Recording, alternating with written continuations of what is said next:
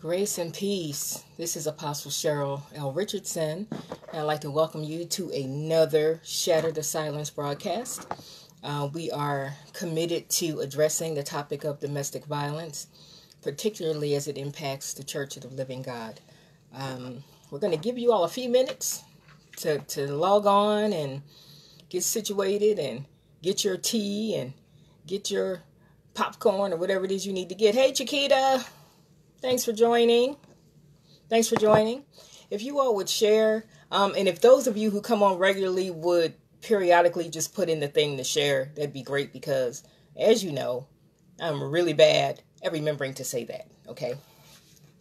Um, before we get started on today's topic, I'm gonna run through a list of the topics that we have covered so far since we began these broadcasts a few months ago. Um, the Lord impressed upon our heart. We have a great burden for those who are ensnared in any situation that causes them to live beneath their privilege, okay, and and causes them to forget who they are in the Lord. Hey, Kelly.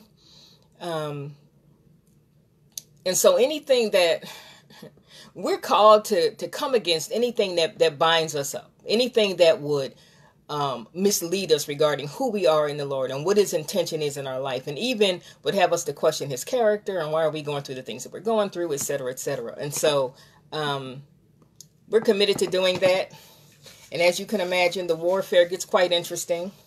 But those of you who know me know that I don't run from a fight. I failed that class. I don't know anything about that. And so, you know, we just believe God that that the message is getting across. And we understand that there's resistance to hearing it and resistance to acknowledging it but it is so prevalent beloved that it's it must be addressed. It must be addressed. And so we are committed to crying aloud and sparing not. We're very prayerful also regarding what topics that specifically that we should discuss because it's such a pervasive issue globally here in the United States, as well as in Africa, as well as in Australia, as well as in Canada, it, globally, it is a tremendous problem, and the silence around it is deafening.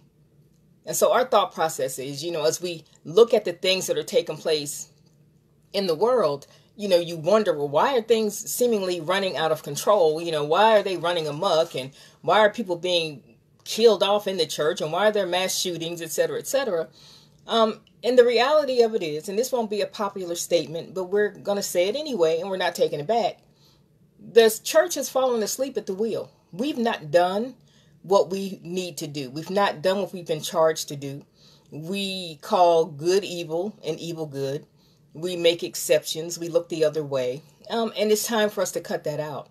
It's costing people their lives. And so We've been charged with raising awareness about that. And of course, that means repeatedly saying things and bringing it up and keeping it in front of folk, okay? So that prayerfully we are moved to do something other than have oh my god that's horrible response when we hear a story about someone who's lost their life or a child who's been mistreated um, that we can do something about it besides feel terrible about it momentarily before we go back to our own lives. Okay, so that's what motivates us. We are committed to doing this.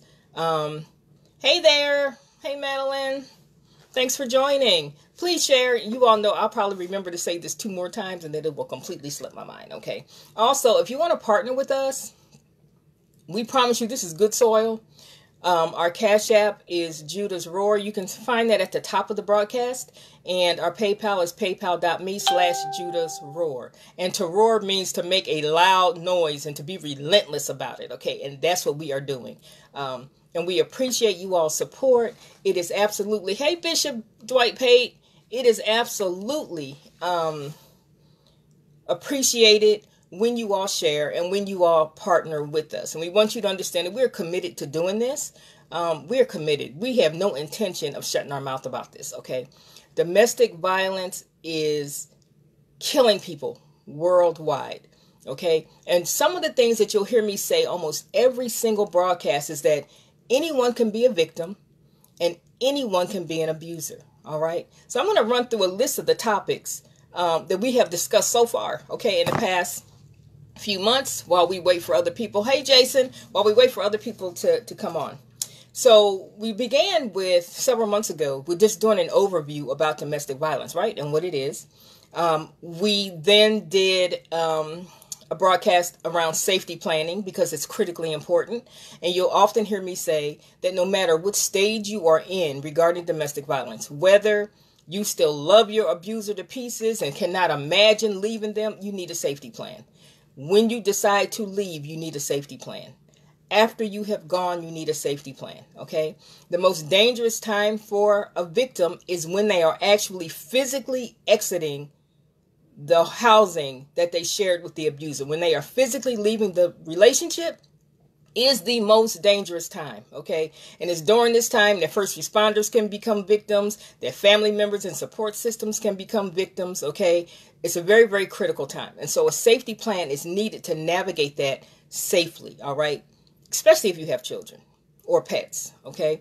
Um, after you leave, the most dangerous time after the actual leaving is 30 to 90 days after. And we've talked to you about how that 30 to 90 day period is relative. Because, for example, if your abuser was arrested, let's say law enforcement was called and they were arrested, they were incarcerated the 30 90 day period in on their plan it doesn't begin until they are released. So they might spend a year in jail but when they first get out that's a dangerous dangerous time for the victim okay?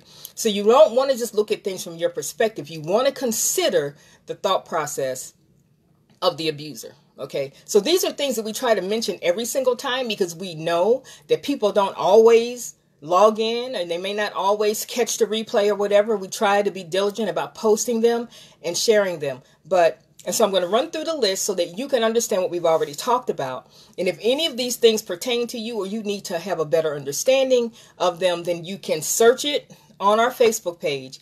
We have our personal page, Cheryle Richardson. We have uh, Lion of Judah Global Impact Ministries. That's our ministry. Okay. We have Apostle Cheryle L. Richardson. So I try to post these things on all of our pages. And so you can search them out. So we talked about trauma bonding. We've talked about safety planning. We've talked about the believer, domestic violence, and forgiveness, because this is a tremendous stumbling block for many of us. We've talked about choking versus strangulation. And in talking about that, we emphasize the importance of understanding what terms you're using, what definition you're using to even define your circumstances. Because if we don't define it properly, if we utilize the enemy's definition, if we utilize the abuser's definition, the solution that we come to will not be effective. Okay? So you want to make sure that you're defining things properly. So we talked about the difference between choking and strangulation. All right. We've talked about domestic violence and how it pertains to gun violence, how those two things are related. Hey, Lisa. Um, we've talked about are you a flying monkey? Uh, one topic was I've left my abuser, but I'm a mess. Okay, because oftentimes we have this expectation that we're going to leave and life's going to be amazing and things are going to take off from there. And sometimes that's not what happens, okay? And so it's important that we understand that that is normal. We talked about gaslighting and hoovering, uh, domestic violence, and post traumatic stress disorder or PTSD. We have talked about what is coercive control. We've talked about recognizing the red flags. Um, we've talked about when domestic violence and the workplace converge. And when we talked about that, we talked about the fact that even when we have these mass shootings, that over 50% of the time, the perpetrator has a history of domestic violence, okay? Uh, we've talked about mistaking shared trauma for compatibility. Um, and this is how people can leave one abusive situation, find wait years. They don't have to jump right back into dating. Just wait years and don't address your own trauma, and you'll find yourself in another abusive situation, different face, different cologne, same devil. Okay. Um, we last week we did a case study, Fall from Grace, when a disgraced judge murdered his wife, and we talked about the case of former Judge Lance Mason, um, and when he abused and ultimately murdered his ex-wife Aisha Fraser. Okay, um, in front of their two young children. We've talked about how trauma rewires the brain. Um, and we've talked about what we're going to talk about today is childhood domestic violence and recognizing trauma in children. All right, so many of the people that I'm friends with in real life and on Facebook and all of that, because I'm a career mental health professional, many of my friends are also clinicians or they are psychiatrists or they are doctors, social worker, therapists. You get the idea. They work in mental health. They're accustomed to working with people. And so, um, for you guys, I want you to feel free to chime in and comment. Bishop Brian Keith Williams, thank you for logging on. Um, want you all to feel free to, to comment, okay? Share, undergird, help a sister out. I appreciate you being here. Um, I'd like to mention that Lisa Alexander is on, and she was one of the first broadcasts that we did, and she partnered with us we've talked about safety planning. We did it twice, and so um, it that video went viral. It went viral. So I'm still excited about that because I think that's a key component. It's a key thing. It's something that everyone needs to know because even if you don't need it, someone around you needs it. One in four women and one in seven men have or will experience severe domestic violence in their life. So we're talking about more serious than you just calling somebody out of their name, which is not okay. But that frequency is mind blowing. It's mind blowing, okay? And studies indicate, studies indicate, I'm trying to wave to y'all. Hey, Ree. Hey, Alicia. Um, studies indicate that there's a higher incidence of domestic violence in households who claim to be Christians than in non Christian households. I'm going to let that just sit right there. Okay, there's clearly something wrong with that clearly. Okay. And so this explains why it's so relevant and so prevalent in the church because it's not being addressed. Multiple reasons why it's not being addressed. It might not be addressed because the leadership is guilty of it. It might not be addressed because they have a history of it from childhood and and they they shy away from discussing it. All right? And so there are reasons why it's not discussed. Our point is honestly to make leadership uncomfortable not addressing it. I have every intention of provoking ministry leaders, other apostles, prophets, teachers, evangelists, pastors, deacons, church mothers, whoever. I'm focused on provoking you, okay? Aggravating you if I must, into doing something besides feeling badly about it momentarily and going back to your life. There are certain topics there are certain topics that affect all of us, no matter what part of the vineyard we are convinced that we've been called to address. Okay. You may think, well, I'm dealing with homeless children, or you might think I'm dealing with homeless veterans, and you might think I'm dealing with drug addicts. If you did a cross section of any one of those demographics, you would find that domestic violence, human trafficking, drug addiction, these are all things that touch all of these areas. So to not address these things, you're undermining your own work. And so you're pouring a whole lot of work and focus into whatever. If you're an evangelist, getting people to accept Christ, leading them to Christ. But if you don't understand how to address their trauma, if you don't understand what to say and what not to say, you're undermining your own work. You're working against your own purpose. Okay. And so it's important that we come out of this myopic view that we have of this is what God has given me to do, and it's the only thing that matters, when there are several topics that affect every last one of us, no matter what area of the vineyard we are called to. Okay, so we've got to think more globally and stop thinking so myopically. Hi, Pam. Hey, woman of God, Crystal Fraser Wilson. All right, so we're going to talk about childhood domestic violence today um, and recognizing the trauma in children. This is of particular interest to me because probably over over half of my 30 year mental health career has been devoted to kids, children and adolescents, um, ages 5 to 17, um, specific demographics, uh, victims of human trafficking, um, victims of child abuse, victims of sexual assault. Um, and so We've got extensive experience dealing with actual little people who have struggled with these things. Um, and we think that this is important because honestly, we all start off as children, right? So even if we're as an adult have a history, it's important to be able to look back and put things in their proper perspective, all right? And so often, even if the signs of trauma are present in children. Whether you are a teacher, I have lots of friends that are teachers. Some of you are on here now. You're a teacher, you're a nurse, you're a psychiatrist, you are a therapist, you're a social worker, um, you're in the helping professions, you volunteer at the Y, or whatever it is that you do. Um, often, even if the signs of trauma are present in children, people are hesitant to get involved. Why do you think that is? If you have some ideas about why you think people hesitate to get involved, please chime in, okay? Chime in. Uh, but people hesitate to get involved. One of the primary reasons we believe that people hesitate to get involved is there's a concern about, well, what if I'm wrong? If I report this person, or if I call the state, or if I call child welfare, um, if I tell my supervisor, um, if you work in a facility with kids or whatever, what if they don't believe me? What if I'm wrong? Now I've ruined this person's reputation. You have put a black mark on their career. Um, we played in the sandbox together. I cannot believe they're guilty of this. There must be some other reason why this child is just so bad. Okay. And so there's a hesitancy to get involved. And we tell ourselves, well, what if I'm wrong? Here's a question what if you're not? What if you're not wrong? What if you're not wrong? And what if you're the only person has, that has even taken the time to notice that something is not quite right? Hey, Roz. What if you what if you're the only one? And those of you who are therapists will know that what I'm about to say is true, right?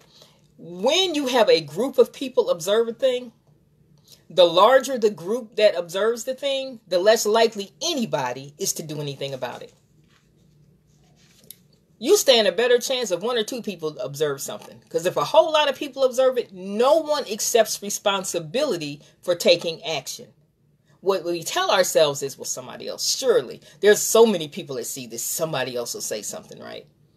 Okay, so here's my challenge to you, especially if you're a believer. What is it that you're actually afraid of?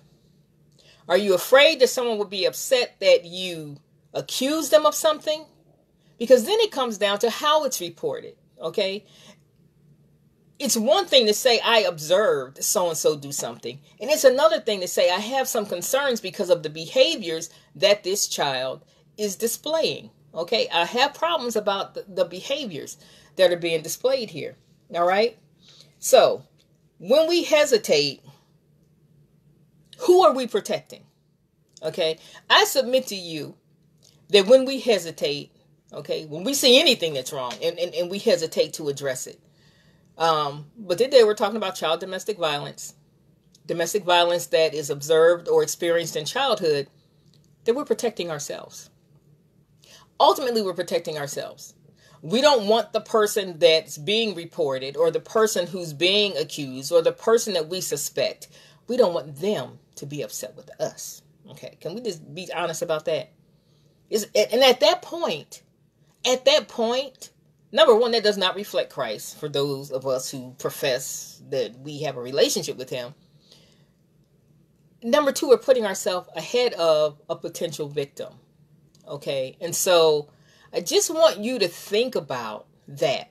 When we hesitate to intervene, when we hesitate to explore further, who are we protecting? And when you peel back all the layers, it comes back to us. It comes back to us not having to deal with the consequences of maybe it being inaccurate, okay? But when you consider that you're asking that it be explored, that you're asking that it be examined, okay? You're not accusing anybody of anything. What you're saying is, these are the things that I've noticed. They appear to me to be abnormal, and I'm concerned that something else is wrong here. Okay. All right. So just think about that. I want you to keep that in the back of your mind the entire time we're talking about this today. It's important to understand that 100% of the children who are exposed to domestic violence in childhood are impacted. 100%. I'm talking about those who act out. I'm talking about those who don't. 100% of the children who are exposed to domestic violence are impacted. There is no experiencing it and escaping unscathed. Okay? And so we really just want to put that myth to rest because, you know, we can take a false sense of security in, well, they're not acting out and they seem to be fine and they're getting A's and they keep their room clean and they say yes, ma'am, and, and, and no, sir. Okay. All of which could be an indication that something is terribly, terribly wrong. Hey, Christina.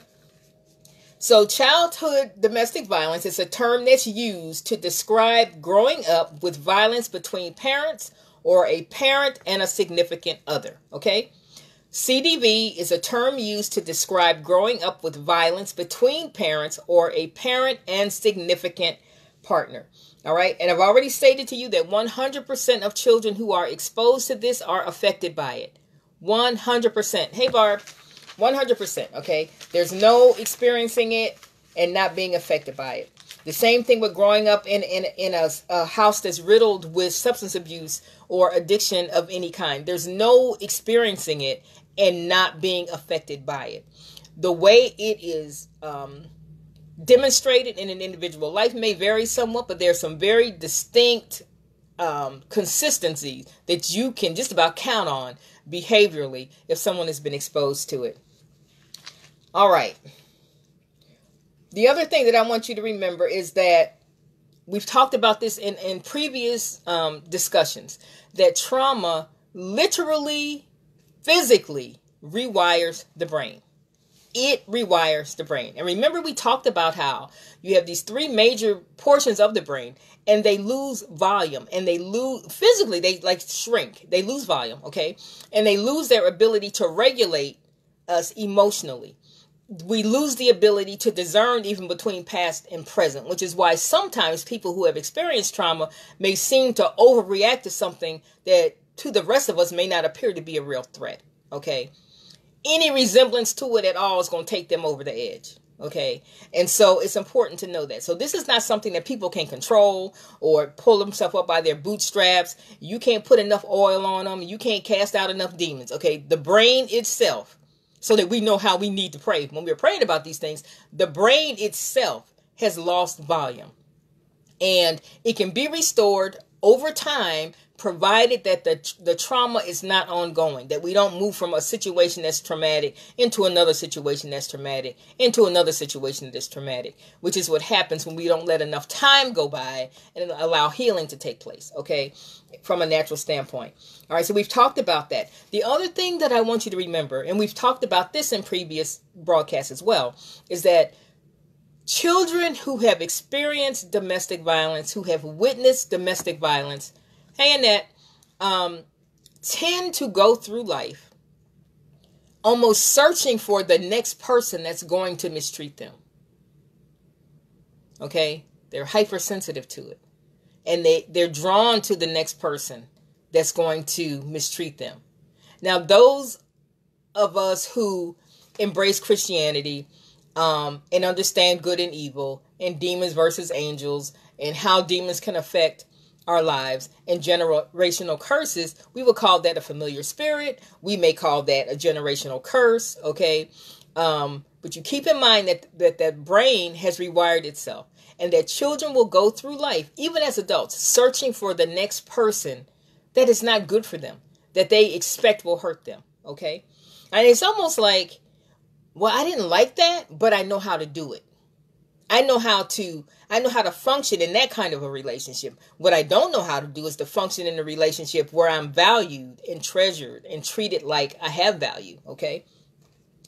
Um, so let's look at the indicators of childhood domestic violence at different stages of development because again it's important that we understand what we're looking at, okay? So in infants there is a decreased responsiveness, um, increased fussiness. They might be very, very irritable. They may have trouble eating and they may have trouble sleeping. Okay. And that's for babies. Okay. Um, the old church mothers would say lap baby, uh, a child that's not even walking yet. Okay. Um, for preschoolers, you may have increased aggression. You may have aggressive behaviors towards others, um, frequent bedwetting, isolating from peers. We're still talking about preschoolers now uh, feeling unsafe, you know, very, very anxious, very clingy, um, suffering separation anxiety, um, nightmares, self blame, and decreased verbal skills. Okay, so their their ability to communicate verbally is decreased their interest in communicating verbally may decrease um, and so for those of you who are on here that are teachers can attest to this that sometimes you'll have a child in the classroom and they're and they're they're incredibly aggressive or uh, they're provoking their peers all the time and it's, it's kind of over the top and it's not normal. Um, and usually it's an indication that something's going on at home. Now I'm, i can tell you this. What has happened over the past 20 or so years is i believe that trauma okay has been mistaken for ADD attention deficit disorder or attention deficit hyperactivity disorder and so kids have been put on medication when in fact that has not been the issue Okay. Any of you that are teachers or therapists that want to chime in concerning that, do feel free. Um, so, again, it's important that we define things properly, right? Or the solution that we bring to the problem doesn't address the problem. And that just further stigmatizes the child or even as an adult. I mean, if get further stigmatized, okay? People don't understand what's going on with you. And if whatever medication you're taking is not working, it appears that you are just really a hot mess, okay? So again, with preschoolers, you may have an increase in aggressive behavior, aggressive behavior towards peers, um, nightmares, frequent bedwetting, um, feeling unsafe, uh, blaming themselves for everything, and decreased verbal skills. All right. Now, let's see. Grade schoolers. Okay. And some of you on here, I know you are teachers and you and you deal with grade school kids. So grade schoolers may um, exhibit aggression, frequent outbursts, bullying others, frequent bedwetting, sounds familiar, uh, poor quality peer relationships. They may be emotionally withdrawn and isolative. They may be fearful, um,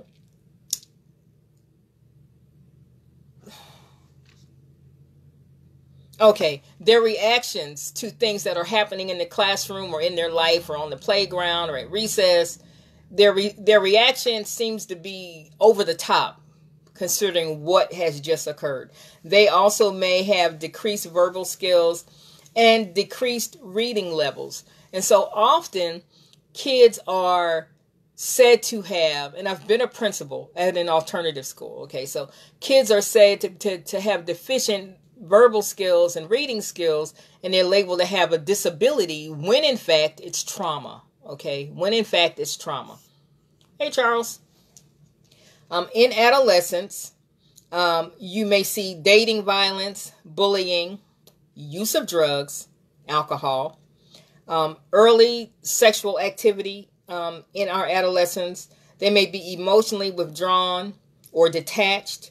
Uh, they may have frequent health complaints, frequent headaches, stomach aches, things that you can't really pin to a specific ailment and maybe you maybe they go to the doctor and the doctor can't really find anything they may have um, anxiety a short attention span uh, lower verbal skills again and difficulty trusting others now let me say let me say this and, and i think who this is from years ago when I was a principal of an alternative school, which means that all of my kids were expelled, not suspended. They were expelled from public school. Hey, Ross, they were expelled from public school, which means that the principal at their previous school said, You are not coming back here ever again. Amen. You, you cannot come back here. And I had kids from age six through 17. All right. We had, um, we had a student I'm not going to say her name because I cannot. But I will never forget this girl. I will never forget her. Okay. She was, I want to say she was 15 at the time. She was a, a, a big girl. You know, she, she was a big girl. She was tall and she was big. And this girl would act out every single day, at least once, but normally two or three times which required that we go hands on. We would exhaust our verbal de escalation skills. Um, she always responded positively to me, but if for some reason I wasn't there or I was otherwise involved with something, then it was going to be off to the races. And so it got so bad with us having to do restraints on her. And you know, and all of my staff were trained to do restraints and to do them safely and to not injure, you know, the kids. And so but there's something exhausting about having to go hands on repeatedly with the same person two and three times a day, okay? And so we would have to put this girl in restraints. And she was a big girl. And so it would take all of my male staff, me and some other folk, to get her into a restraint safely. Um, and whenever we would restrain her, I noticed that she would, her emotional reaction would be off the charts. The way she would scream, it was just bone chilling. Bone, and I'm thinking there's something else going on here. Um, my staff got so frustrated. They were like, "Well, we think that she's just your favorite, and she's just a bad kid. And sometimes, you know, kids are just bad." And in my spirit, I thought, we are missing something here. We are missing something. Something is wrong. Why is she acting like this? Why do we have to go through this every single day? It was exhausting. And I would have to meet with my staff after doing these restraints and, and allow them to decompress because it was just mentally, it was draining. All right. Um, if you care about children, you don't want to have to put your hands on them. And not even because you're trying to keep them safe. It's just something that it depletes you when you have to do it. Okay. And so this went on for weeks. This went on for weeks. And then her mama was angry. Her mama came up to the school one day and she was screaming and yelling. And I remember my staff posted up outside my office and they didn't want me to be alone with this woman because they thought she might try to do something. And and the Lord told me, tell them it's okay and just talk to her. And so I talked to her. And I asked God, what is going on? We are missing something. And so why am I sharing this? Because rather than respond to how a child is behaving, ask yourself, where is this coming from? Why are they acting like this? It's exhausting.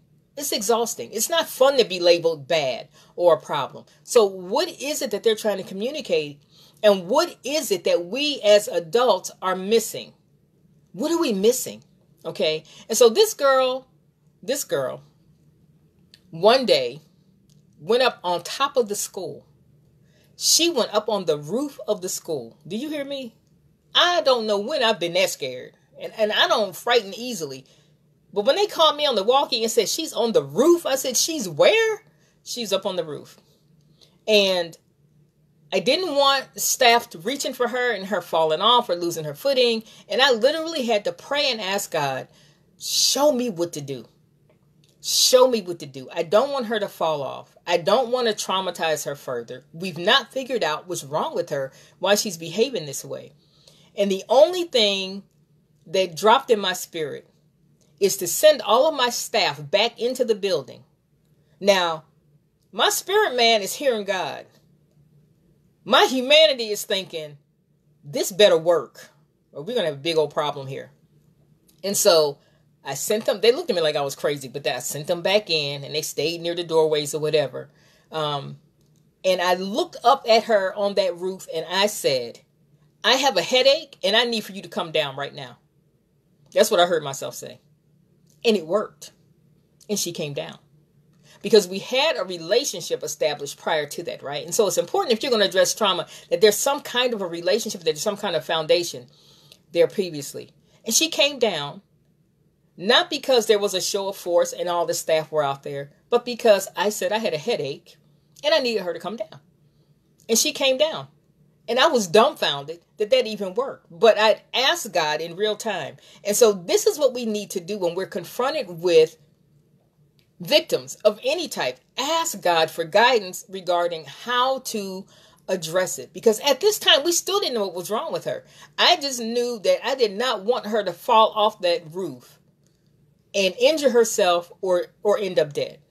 That that was not something that I felt like we could deal with as a school, as individuals, as professionals, that that would have been devastating for everyone concerned. And so once she came down and I talked to her and I said, We want to help you. And I feel like we're missing something and I, I don't know what it is. And so I need for you to help me understand what is hurting you. And it turns out that she was literally being sexually abused every single day after school by a neighbor that her mother considered a good friend who lived directly across the street from her. So imagine that. Imagine leaving school knowing what's going to happen to you, right? Knowing that they are accepted by your family, knowing that they're right there across the street from you. You've got this visual reminder that you better not tell. Okay? And it was months. And I'm, I'm telling you, my I had staff ready to walk out, quit their jobs because they were tired of having to do restraints. We would all go home sore and achy from, from struggling with this girl. All right. And it taught me that we have to look past the behavior.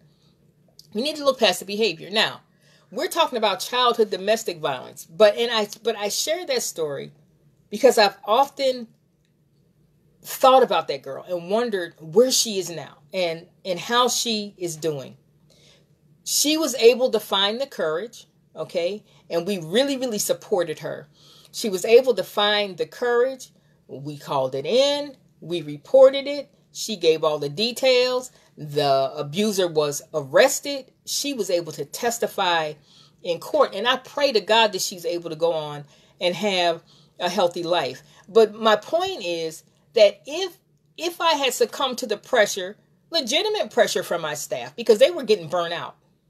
She was disrupting the school. I mean, it was horrible. It was and it was every day. It was every single every day. Every day that we had school, she acted up. Okay.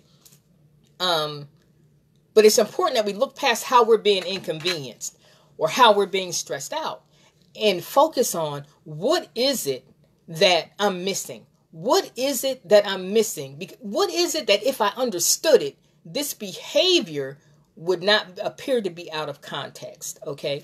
Would not appear to be out of context. Hey, Lucy. All right. So, we've talked about adolescence. Now, and I've told you that trauma in children and adolescents can be mistaken for ADHD or ADD, which is why oftentimes when kids take medication, it doesn't make any difference because that's not the problem. that's not the problem. That's not the problem. Sometimes kids have problems focusing, um, and those of you who are teachers can attest to this because when they have experienced trauma, and certainly if they're currently in a situation in which the trauma is occurring on a day to day basis, um, their brain is constantly doing a threat assessment. So they're distracted. They're constantly assessing their environment. They're constantly looking for the next person that may be hurtful to them or might be a threat to them somehow. All right. And so they're preoccupied with that. It's not that they don't like school or that they don't like the teacher. Their brain is busy. Their brain is really, really busy trying to make sure that they're safe every single moment. Okay. Um, okay, someone who grows up with childhood domestic violence, okay, may struggle with focus or paying attention because their brain is continuously making threat assessments. So this means that even if you were exposed to it or experienced it as a child, you may, as an adult today, have a difficult time focusing and staying engaged in a conversation. Your mind might wander off. You are constantly assessing your surroundings, and it may be difficult for you to focus in, even on a conversation, and, and track it from beginning to end. Okay. Um, pediatrician Nicole Brown recently concluded a study of 65,000 U.S. children and found an overlap between attention deficit hyperactivity disorder diagnosis and a higher than normal level of poverty, divorce, violence, and family substance abuse. So her study found a high correlation between the diagnosis of ADHD and children who have experienced trauma in the areas of poverty, divorce, violence, and family substance abuse. Because all of these are traumatic events in the life of a child, okay? All right. Children who endured four or more childhood events were three times more likely to be prescribed medication for ADHD. All right. Children who endured four or more childhood events were three times more likely to be prescribed medication for ADHD. Okay? Now, let's talk about those instances where you go through a situation and uh, maybe you have a child experience childhood domestic violence, but they appear to be okay. The question is are they really okay? Are they really okay? All right. All right. Sometimes they seem to be okay after leaving the abusive household. They may seem to be okay once they get into foster care, for example, or once they go to live with a family member, or once the abuser is out of the home, once maybe them and the the parent or the caretaker who has been um, the victim has left. Okay, the abusive situation, but that doesn't mean that they're okay. All right. And you you want to guard against embracing, oh, they're great and, and, and, and, and God has brought them out and they're doing just fine and there aren't any scars. You want to not be too quick to assume that because we've already said that 100% of children who are exposed to domestic violence are impacted by it. And they're impacted, you know, in different degrees. It may appear at a different stage of development. It may not appear right then. Oftentimes, kids who are, are dealing with trauma, um, especially if they're with a parent who was also a victim, may keep it together. They may hold it together. They may not act out. They may not share that they're having nightmares. They may not share that they're wetting the bed or that they're having problems in school until they're convinced that the parent that was the victim is okay. All right? So it's not unusual. It's the same way the kids deal with death and and and, and loss if a caretaker on whom they're dependent is negatively impacted, it is not unusual for them to keep it together until they believe that their primary caretaker is on solid ground. And then you'll start to see the behaviors. This could be weeks or months later. Okay. So it's important to keep that in mind. Um, all right. They may not cry. They may not want to talk about the environment that they left. They may be concerned about being punished if they complain, if they don't appear to be grateful for being in a different environment at this time. They may be trying to protect the custodial parent um, from additional stress, which is what I was just saying. And then some may be hiding secrets, and some may actually be coping well. So they may be they may be coping fairly well. Okay. What I'm suggesting is that you don't assume that because you don't have any outward acting out and that you continue to pay attention, that you continue to monitor, um, that you don't push them to talk, that you don't pressure them to talk. Because when we do that, right? When we do that, it's not about them. It's about us again. It's not about them being okay. It's about us being uncomfortable because we're concerned that they're not okay. All right. And anytime we approach someone who is in pain or or has experienced trauma, and our primary motivation is to relieve our own anxiety, that's not good. Okay, and you run the risk of doing more damage. All right. So how can you tell? How can you tell if they're okay or not okay? Um, you can find out how your child behaves in other settings. Speak to the teacher. Speak to their friends' parents uh, if they're involved in sports, talk to the coach, talk to the school. How are they getting along with their peers? How are they engaging? How are they interacting? Okay, has their behavior changed at all? Are they more outgoing, uh, which could be all an act? Are they more withdrawn, which could be very concerning? Okay, so you don't want to just rely on your perception because you have a vested interest. If this is your child, you have a vested interest in them being healed and delivered and set free, right? So you don't want to err on the side of protecting yourself again. Um, ask other people how they're behaving. Observe them when they don't even know that you're there. Observe them playing with other kids. Um, at recess. Observe their interactions on the sport teams um, that they may be involved in, in the after school activities that they may be involved in, okay? So get information from other people. Don't just rely on your own because remember now, you've experienced trauma too. If they've been if this is your child and they've been exposed to domestic violence, childhood domestic violence, this means that you were somehow involved. You were either the abuser or you were the victim. And that means that your brain has also been affected by the trauma, okay? Your brain has also been affected by the trauma. So, what you cannot rely on is your ability to discern accurately, okay, when you have just left a situation like that. And so, you want to keep that in mind and talk to people who can tell you objectively okay, and give you specific examples about how your child is behaving. Apostle Dion, you there? So talk to other people, okay? Um, number two, what is your child expressing non-verbally? Are they having any problem sleeping? Are they under eating? Are they overeating? Um, is their room more of a hot mess than usual? or maybe everything is is is spick and span and uptight and that's unusual okay so you want to look at and, and and to keep from if you have been a victim okay and this is you know and, you've gone through these painful experiences with them understand that your objectivity is not to be trusted okay it's not so you want to get feedback regarding how they're behaving and this is what i say stick to the facts fact they normally sleep eight hours a night they're only sleeping two or three. They've done this two or three times a week for the past however many weeks. So stick to the facts and you don't have to worry about how you're interpreting them, okay? Um are they having difficulty focusing? Are they having problems being still? Um are they completing their schoolwork? Does the teacher have concerns about their ability to focus in the classroom? Okay. Do they startle at sudden noises? Um, do they seem particularly anxious?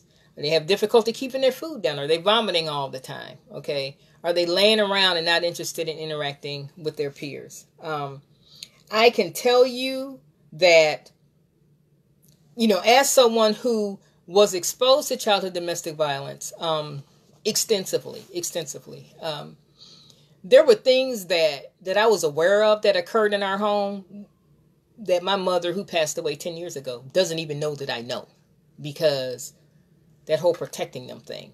There were things that she was subjected to that I did not want her to know that I was aware of because I felt like it would just traumatize her further. Um, so there's this thing that you do where you protect you you protect the people that you understand have been hurt enough. And I was fiercely protective of my mother until the day that she died. And my thought process was that nobody else is going to hurt her, period. And I meant that, okay? And that comes from what I understood she had already experienced, okay? Um, the other thing that I want to interject just from my own life is this I have siblings that were like 10 years older. Um, and their experience, well, I've spoken to one of them. Um, um, and their experience was different than mine. And at least one of them doesn't have a recollection of the household being abusive or a lot of fighting or whatever, but that's because they were so much older.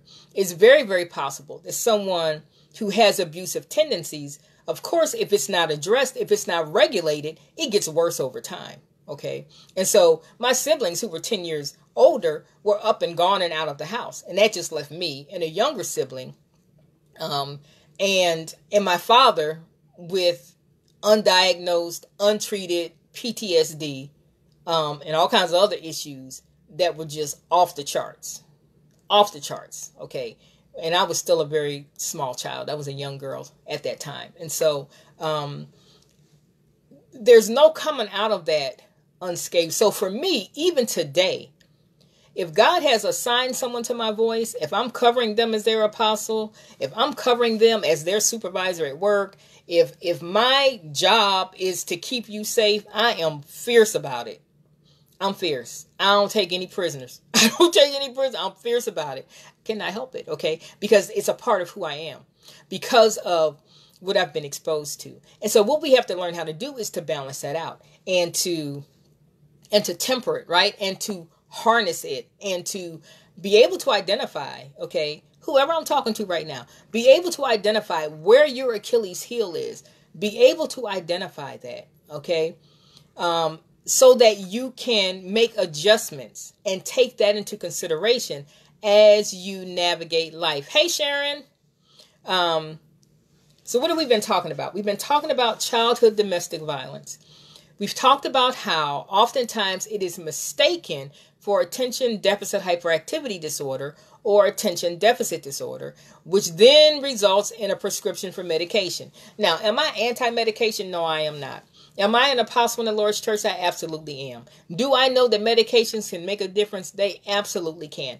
If a child actually does have attention deficit hyperactivity disorder, all right, what the medication will do is provide them an opportunity. It will balance out the chemicals in their brain and provide them with an opportunity to make appropriate choices. Okay, um, because when they don't have that, they continue to make horrible choices, which erodes their self esteem, erodes their self image, erodes their self confidence. And that does not make a healthy, normal, functioning, contributing to society in a positive manner adult. Okay. That's when the diagnosis is accurate. What we are saying is oftentimes it's not because it's trauma.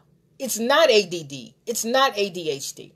And so, those of us who are interacting with children, I just want to encourage you to take a second look, explore and see is it possible that something else is going on here? Is something wrong at home? They may admit it, they may not admit it, okay? Uh, the other thing that we want you to consider is this when we come face to face with any concern about some kind of an abuse or some type of mistreatment, whether it is human trafficking, whether it is child sexual assault, whether it is domestic violence, all right? Um, if we hesitate to get involved, what is that really about? What is that really about? We can say, well, what if I'm wrong? But let's take that a step further. What does it mean to you? What is the impact on you personally if you are wrong? And what is the impact on the victim if you're right and you don't follow through? Okay?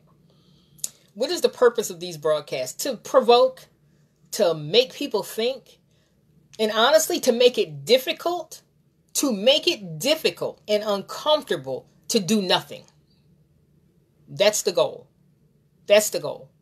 If we can get you to think about what's going on around you and think about your role and think about what an appropriate response is, okay? And consider this. Consider this. One of the things that, that God has has really brought home to me, personally, I'm talking about me now, personally, is that no matter what my fear may be on a personal, okay, no matter what my anxiety might be. What I don't have a right to do, what He has not given me the authority to do, even as an apostle in the church, is to know that someone is in danger, to know that someone is suffering and do nothing. And do nothing. That is not okay. It is not okay. All right. And we need to be able to trust God to keep us no matter what the backlash is. Okay? If we can't trust him to keep us, no matter what the backlash is, because we've done the right thing, I question our right to get up and tell people that they need to live the way we live. Because either it works or it doesn't, right? And so what I have found is absolutely there's backlash. Absolutely, there's backlash. I had people trying to trying to, you know, pull a fast one when my mother was in her last hours on earth and I made a public service announcement. Listen here. Listen here she love she loves you. And so i'm gonna give you an opportunity to interact with her. If you lose your mind i'm hanging up the phone. You're not gonna hurt her anymore. Okay now did that win me any brownie points with them? No it did not but i wasn't really concerned about that. I was concerned about ensuring her safety. And whatever that meant for me personally that's what it meant for me personally okay and so the Lord wants us to be committed to what He has called us to do in the earth. And we cannot do it, no matter what it is we're called to do, we cannot do it effectively if we make excuses that make it okay for us to do nothing. That makes it okay for us to do nothing. Hey, Apostle Charlene. So I want you to think about the fact that, that if a child experiences domestic violence in the home, even if it's only one time, which is very rare, very rare, because usually it's a cycle, right? There's no way that they're not affected. That's a traumatic experience.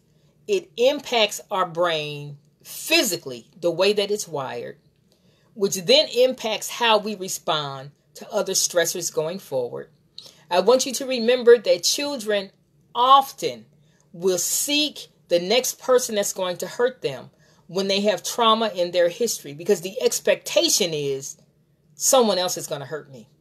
That's the expectation. Someone else is going to hurt me. Okay? And we carry that into adulthood. We carry that into adulthood with us. Okay? And this is how you can move from one abusive situation to another abusive situation. And they can appear on the surface to be quite different, right? Right? They can appear to be quite different. And then you get into it and it's like, this is the same thing.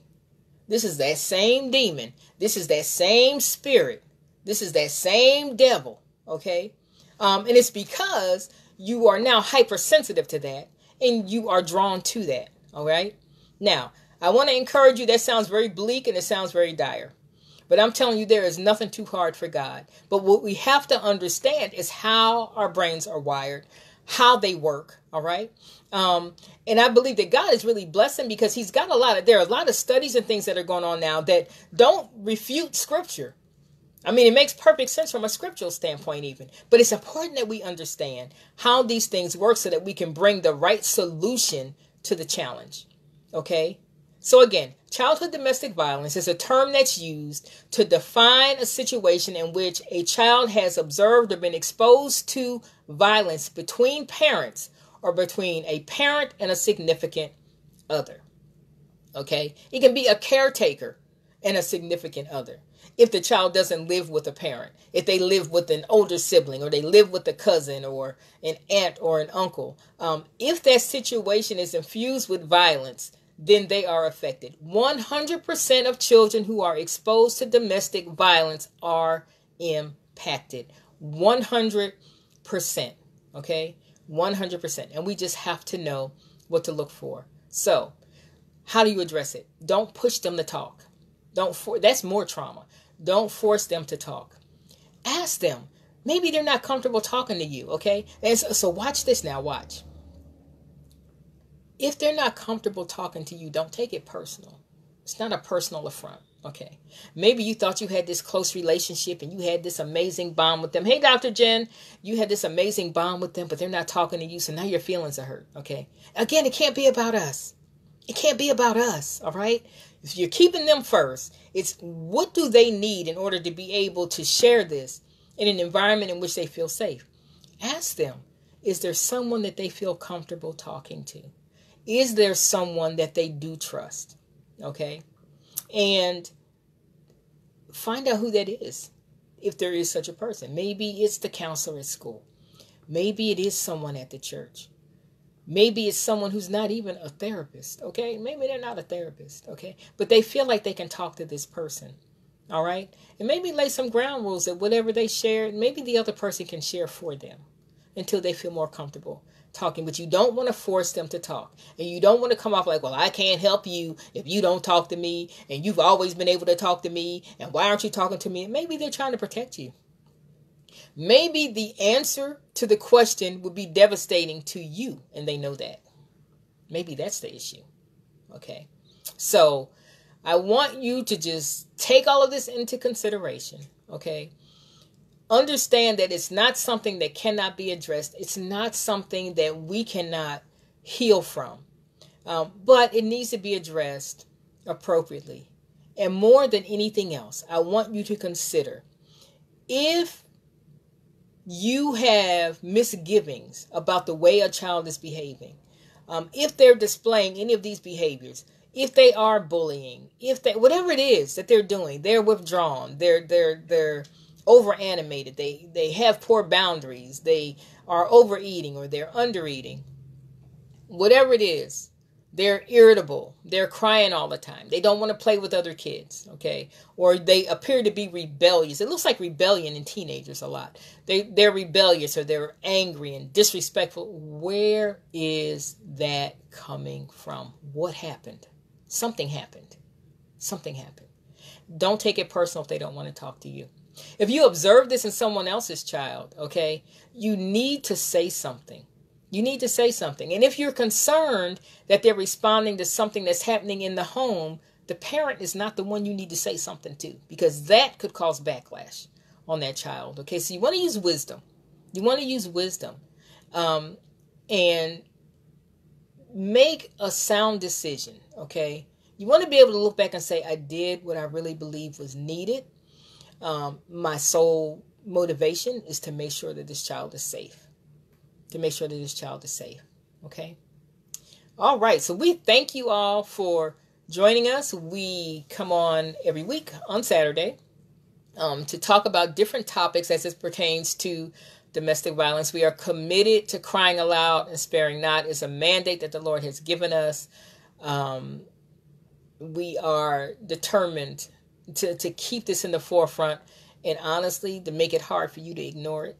Um, to provoke you into doing something, to provoke you into taking an extra few seconds and considering what's going on around you one in four women and one in seven men have or will experience serious domestic violence like choking, punching, hitting um, in their lifetime. Okay, and so it's so prevalent.